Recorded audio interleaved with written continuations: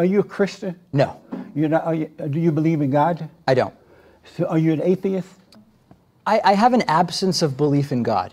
If you want to call that atheism, it could be agnosticism. I'm not really sure, but I have an absence of belief in God. But it's not like I'm not going around telling people God doesn't exist. Right. It's sort of like if we heard a noise in the back right now, I wouldn't say to you that was probably an invisible purple hippopotamus.